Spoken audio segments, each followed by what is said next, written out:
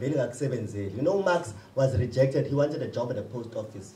Karl Marx can you imagine? Karl Marx couldn't get a job at the post office. Because bengadalelanga leyo nto leyo. So and kuyangijabulisa seeing this young man because I consider him as a young man still today.